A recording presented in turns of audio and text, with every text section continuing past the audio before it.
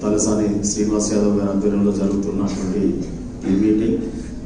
వేదిక మీద ఉన్నటువంటి మంత్రివర్యులు అదేవిధంగా ఎమ్మెల్సీలు ఎమ్మెల్యేలు ఇన్ఛార్జీలు ఇక సమావేశాల్లో చాలా అవలీలగా మనం చేయగలుగుతాం. దానికి తోడుగా ఈరోజు మరి చాలా అనుభవం ఉన్నటువంటి ఇక్కడ ఎమ్మెల్యేలు మంత్రులు ఉన్నారు.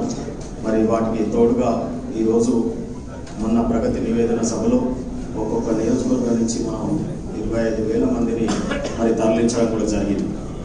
మరి ఆ రోజు ప్రగతి నివేదన సభ కానీ మన గ్రేటర్ హైదరాబాద్లో ఎన్నికల ముందు జరిగిన సభ కానీ మరి నేను జూబ్లీహిల్స్ అంబర్పేటలో చాలా చక్కగా